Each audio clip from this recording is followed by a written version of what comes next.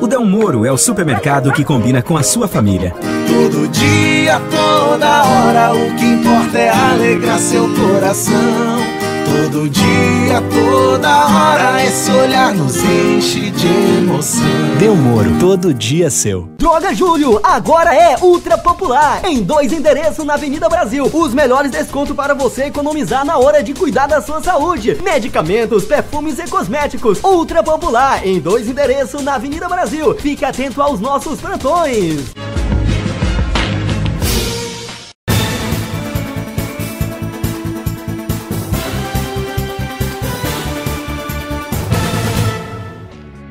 Terra Nova lidera a produção de leite em Mato Grosso.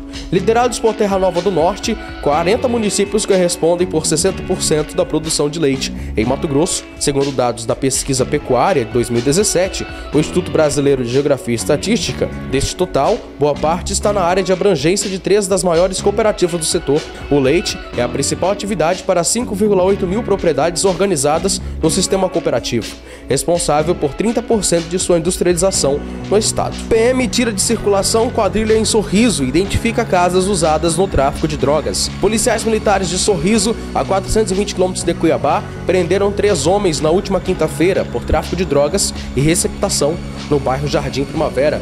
O menor foi apreendido na ação. A abordagem aconteceu quando os policiais em Ronda viram quatro pessoas usando entorpecentes próximo a uma casa. Quinta Copa Unifama de Futsal começa na próxima segunda-feira. Durante os dias 1 e 12 de julho, acontece a Quinta Copa Unifama de Futsal no ginásio Bezerrão. A partir das 7 horas, 19 equipes masculinas e femininas disputarão o título. Carro capota em rodovia em Mato Grosso e PRF acha 33 quilos de pasta base de cocaína no fundo falso. Policiais rodoviários federais apreenderam no último sábado 33 quilos de pasta base de cocaína no quilômetro 17 da BR-070, em Barra do Garças. O entorpecente estava escondido em um fundo falso de um Renault Logan prata com placas de Porto Velho. De acordo com a PRF, os agentes foram informados de que o motorista foi socorrido após capotar o veículo. Os policiais foram conversar com o condutor do carro e perceberam que ele estava muito nervoso e contraditório. Intermate aponta avanços para desburocratizar a titularização de terras em Mato Grosso.